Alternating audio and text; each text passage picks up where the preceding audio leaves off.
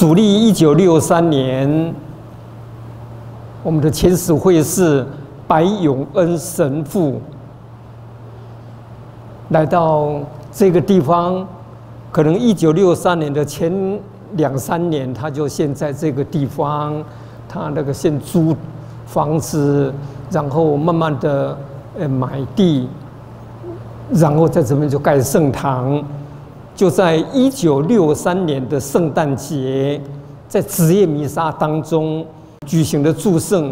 一九六四年的圣之主日，请了罗光总主教来祝圣的这一个圣堂，所以这个是我们圣堂的历史。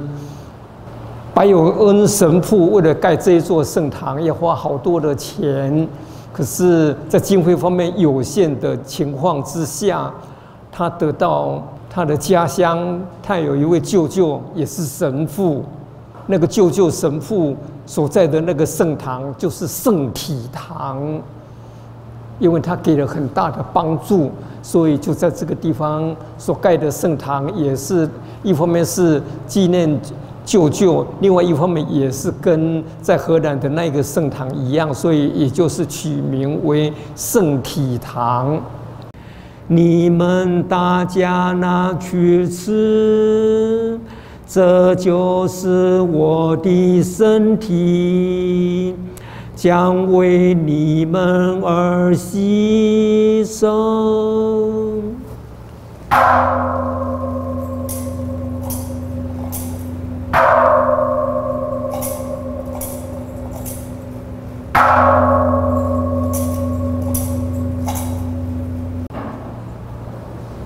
为我们的初领圣体的小朋友们，请你们站起来。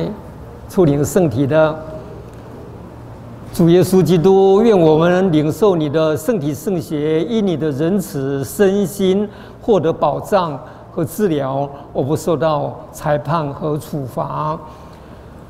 现在，小朋友你们就要来首次来领耶稣的圣体圣血。这个是新而永久的盟约的祭品，基督圣体圣血，阿门。刘玉圣灵安东尼，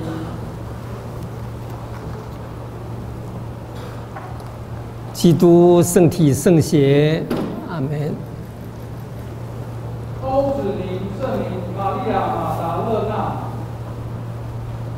基督圣体圣血，阿门。